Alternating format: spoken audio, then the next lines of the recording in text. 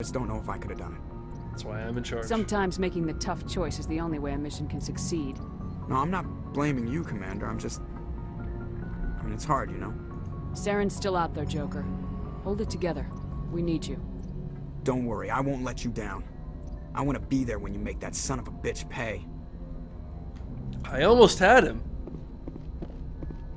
Almost had him.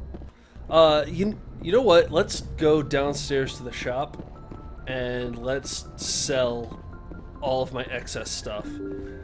Because I've been reducing things to Omnigel a lot, but I still have way too much junk that I have to haul around in this trunk.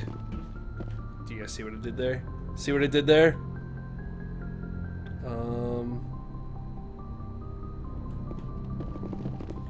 Yeah. Good. Taking the elevator down alone. Any any news reports? Any anything to do anything while I'm in this elevator?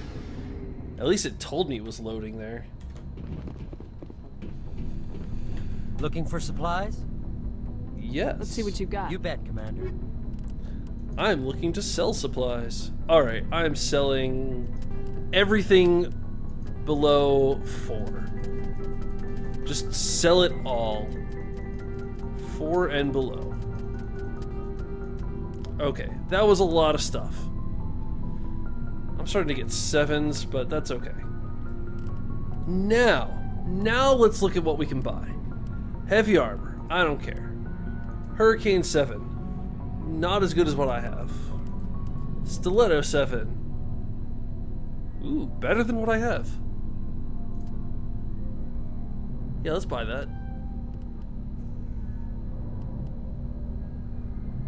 Colossus armor. Um, nope, I don't have that yet.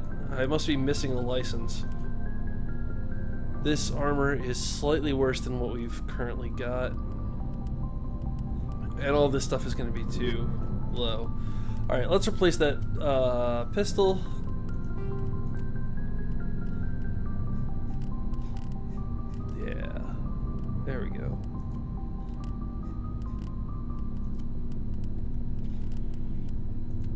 All of this human armor. So bad.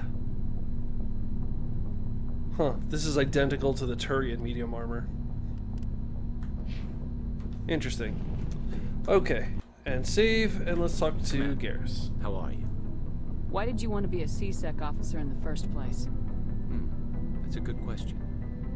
There were several reasons, I guess. Is it just me, or is Garrus in particular quiet? Like what? Probably the same as most officers. I wanted to fight injustice, wanted to help people.